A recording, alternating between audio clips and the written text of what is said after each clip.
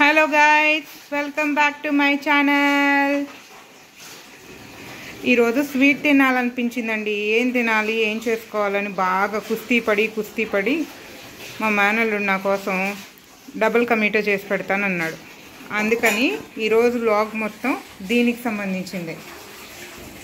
ఇవి ఎలా చేయాలి దీనికి కావాల్సిన ఇంగ్రీడియంట్స్ ఏంటి ఒకసారి మీకు అన్నీ ఫస్ట్ ఎక్స్ప్లెయిన్ చేస్తాను. చూడండి.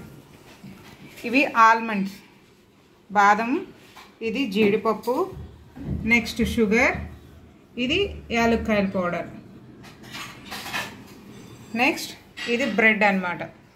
ఈ బ్రెడ్ మేము ఇప్పుడు మొత్తం ఈ వన్ కేజీ బ్రెడ్ మొత్తం యూజ్ చేస్తున్నాము. ఫస్ట్ అయితే ఈ బ్రెడ్ స్లైసెస్ ఈ చివరి చుట్టూతో వద్దనుకున్న వాళ్ళైతే ఫోర్ సైడ్స్ కట్ చేసేసుకోండి. లేదు బాగానే క్రిస్పీగా క్రంచీగా ఉంటుంది అనుకుంటే కనుక అలాగే ఉంచేసుకోండి. ఫస్ట్ ఆయిల్ని ఇలా హీట్ ఎక్కనివ్వండి బాగా. హీట్ ఎక్కిన తర్వాత ఇటు పక్క నెక్స్ట్ ప్యాన్లో ఏం చేయాలంటే ఒక టూ గ్లాసెస్ ఆఫ్ వాటర్ ఫుల్గా పోసుకోండి. పోసుకొని దానిలోనే యాలుక్కాయల పౌడర్ వేసుకోండి. ఇది కూడా బాగా వేడి రావాలి. దీనికి బాగా జిగురు పాకం అక్కర్లేదు. జస్ట్ లిక్విడ్గా ఉంటే సరిపోతుంది. దీనిలో ఎక్కువసేపు మనం బ్రెడ్ని డిప్ చేయాల్సిన అవసరం అయితే ఉండదు. నార్మల్గా లిక్విడ్ లాగా ఉంటే సరిపోతుంది. ఆయిల్ చూడండి ఇప్పుడు ఈ ఆయిల్ బాగా వేడెక్కేసింది. అండ్ ఇందాక ఇంకొకటి మీకు చెప్పడం మర్చిపోయాను. ఇవి గార్నిష్ చేసుకోవడం కోసం కాబట్టి వీటిని బాదం పప్పుని అలా కాకుండా మనం ఇలా పీసెస్ కింద కట్ చేసి ఆయిల్లో ఫస్ట్ వేయించుకొని పక్కన పెట్టుకోండి. ఇప్పుడు చూడండి ఆయిల్ బాగా కాగింది. దీనిలో బ్రెడ్ని మనం ఇలా వేసి వేయించాలి బాగా. డార్క్ గోల్డెన్ కలర్ వచ్చేంత వరకు వేయించండి.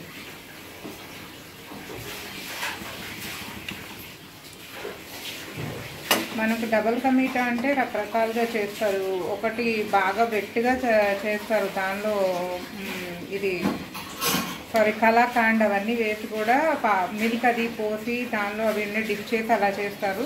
మనకు అలా వద్దు. కొంచెం క్రిస్పీగా క్రంచీగా కావాలనుకుంటే ఇలా స్లైసెస్ స్లైసెస్గా కూడా ఇట్లా చేసుకొని దీన్ని మనం ఎంజాయ్ చేయొచ్చు. టూ గ్లాసెస్ ఆఫ్ వాటర్కి మనకి దీంతో ఈ కప్తో ఈ షుగర్ ఎంత తీసుకోవాలంటే ఒక మనం తీసుకునే టేస్ట్ని బట్టండి. షుగర్ కన్సిస్టెన్సీ ఎక్కువ కావాలి షుగర్ ఎక్కువ తింటాం అనుకునే వాళ్ళకైతే మినిమం త్రీ కప్స్ పడుతుంది. లేదు కొంచెం షుగర్ తక్కువ కావాలి అనుకుంటే కనుక ఈ కప్స్తో మనం టూ కప్స్ ఆఫ్ షుగర్ ఆ వాటర్లో పోయొచ్చు. ఇప్పుడు బ్రెడ్ చూసారా? బాగా వేగింది. బాగా వేయించాక ఇది తీసి ఈ షుగర్ ఉన్న లిక్విడ్లో ఇట్లా జస్ట్ అటొకసారి ఇటొకసారి దానిలో డిప్ చేసి ఎమ్మటిని తీసేయండి. నొక్కొద్దు. జస్ట్ అలా పట్టుకొని పూరీలు తీసే గెరెట్ తోటి దానిలో అలా తీసేసేసి ఇలా పెట్టేసేయచ్చు. తీసుకొని అన్నీ ఇలా పక్కన పెట్టుకోండి. అండ్ దీనిలోకి మనకు మనం ఇంకొక ఇంగ్రీడియంట్ మర్చిపోయాం. కండెన్స్డ్ మిల్క్ కూడా యూజ్ చేసుకోవాలండి. వన్ సెకండ్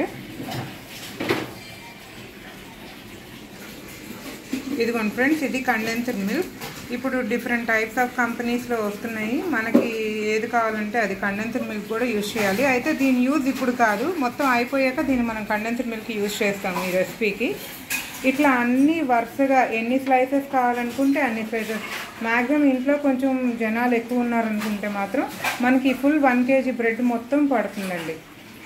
ఇలా దేనికి అది ఒకటి రెండు ప్యాన్స్ పెట్టుకొని స్టవ్ మీద మనం ఒకటేమో బ్రెడ్ వేగుతూ ఉంటుంది. ఇంకొకటి ఆల్రెడీ వేగిన బ్రెడ్ని పక్కన ప్యాన్లో షుగర్ సిరప్లో ఇలా వేసి అటొకసారి ఇటొకసారి డిప్ చేసేసి తీసి మనం పక్కన పెట్టుకుంటే సరిపోతుంది. ఎక్కువసేపు ఆ లిక్విడ్లో ఉంచొద్దండి షుగర్ లిక్విడ్లో ఎందుకంటే మెత్తగా అయిపోయే అవకాశం ఉంటుంది.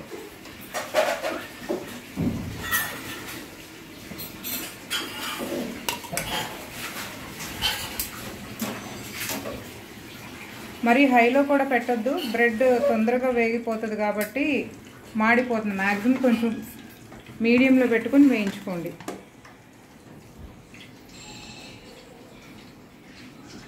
ఇప్పుడు కండెన్సర్ మిల్క్ తీసుకోండి.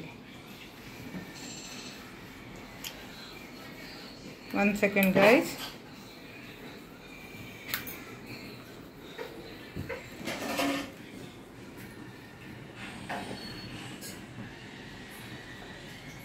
జస్ట్ దాని మీద ఇలా మనం పోర్ చేస్తే చాలు. అంటే స్పూన్ తీసుకొని ఎంత కావాలంటే అంత. అది క్రీమీ క్రీమీగా ఉంటుంది కాబట్టి అది ఆల్రెడీ చాలా స్వీట్గా ఉంటుంది. అండ్ మనం షుగర్ సిరప్ యాడ్ చేసాము. ఒకటి తిని చూసుకొని మనకి సరిపోలేదు అనుకుంటే కనుక ఈ కండెన్స్డ్ మిల్క్ క్వాంటిటీ ఎక్కువ పెంచుకోవచ్చండి. అంతేగాని ఫస్ట్ ఎక్కువే ముందే ఎక్కువ యూజ్ చేయొద్దు కండెన్స్డ్ మిల్క్ అనేది. దాని తర్వాత మనం ఇలా వేయించి పెట్టుకున్న బాదం పప్పు నెక్స్ట్ జీడిపప్పు ఇవి ఇట్లా గార్నిష్ చేసుకొని పెట్టుకోవచ్చు. మనకి తొందరగా అయిపోవాలి ఏదైనా రెసిపీ ఇలా అయిపోవాలి అని అనుకుంటే కనుక ఇవన్నీ రెడీ చేసుకుని పెట్టుకుంటే మనకి టెన్ టు ఫిఫ్టీన్ మినిట్స్లో తొందరగా అయిపోతుంది. అప్పటికప్పుడు ఎవరైనా రిలేటివ్స్ వచ్చారు ఏదైనా తొందరగా అయిపోవాలి అని అనుకున్నప్పుడు బ్రెడ్ ప్యాకెట్ రెడీగా ఉంటే ఆల్మోస్ట్ డ్రై ఫ్రూట్స్ అందరిళ్ళలోనూ ఉంటాయి కాబట్టి యాలుక్కాయ పౌడర్ ఇవన్నీ ఉంటాయి కాబట్టి అవి రోస్ట్ చేసుకొని పెట్టుకొని డ్రై పౌ- డ్రై ఫ్రూట్స్ బ్రెడ్ ఇలా వేయించుకొని షుగర్ సిరప్లో టూ సైడ్స్ డిప్ చేసి అవి తీసి పక్కన పెట్టి ఈ డ్రై ఫ్రూట్స్ అన్నీ దాని మీద గార్నిష్ చేసుకొని అండ్ ఈ కండెన్స్డ్ మిల్క్ ఎంత కావాలంటే అంత మనం దాని మీద వేసుకోవడమేనండి. మరి బ్లాక్గా రానివద్దు మీ కలర్ ఎలా ఉండాలి అనేది మీరు చూసుకొని మినిమం తీసేసేయండి. మరీ డార్క్ అవుతే బాగోదు. చేదుగా అనిపిస్తుంది మనం తినేటప్పుడు. ఓకేనా ఫ్రెండ్స్ ఈ రెసిపీ మీకు నచ్చినట్టయితే షేర్ చేయండి లైక్ చేయండి సబ్స్క్రైబ్ చేయండి. అండ్ బెల్ ఐకాన్ మీద క్లిక్ చేయండి. Bye bye